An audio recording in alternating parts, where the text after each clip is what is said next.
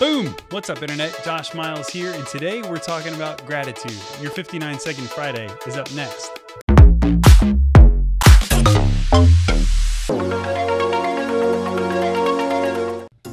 Oh my goodness, that's a long reach. Get the camera a little bit further away. It's really tough to do that reach out and grab the camera thing. But enough about the studio setup. Today we are here to talk about gratitude, and I could not be more thankful to Josh Polk and IUPUI in the Computer Graphics Technology Department for hosting Obsessed with Design for a live studio taping of the podcast. Now, if you haven't already watched last week's episode, we'll link to it up here, and I will definitely link to the podcast itself down in the show notes.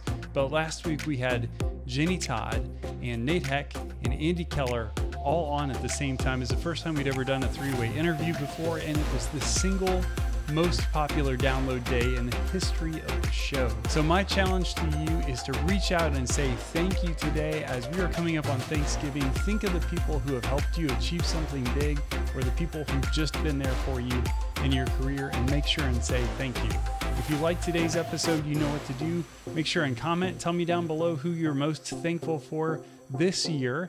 And also hit like and subscribe to get more of these delivered every Friday. Thanks for watching. We'll see you next time. Really is a long reach. It's. It might be too far away. We're going to have to have to work on this for next week.